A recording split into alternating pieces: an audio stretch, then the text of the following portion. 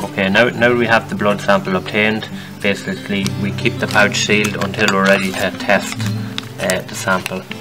We have the test cassette in place and now we need to add the, the drop of reagent into the sample.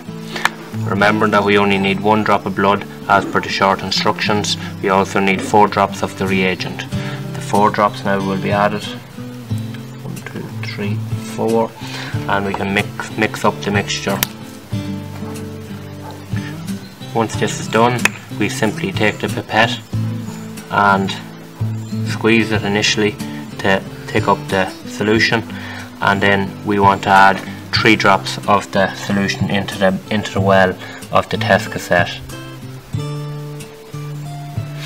We basically have to wait now until until the solution works its way up through the test cassette. This can take a few minutes. We can start to see now on the test cassette where the solution is working up working its way up through the test cassette from the well basically on the test cassette itself we've got two lines we've got a control line to indicate that the test cassette's working properly and a test line which will indicate whether the cow is either pregnant or not pregnant for this to be complete it will take 10 minutes as indicated in the short instructions after the 10 minutes time has elapsed, we can see now on the test cassette that we have a control line very evident which indicates that the test is working.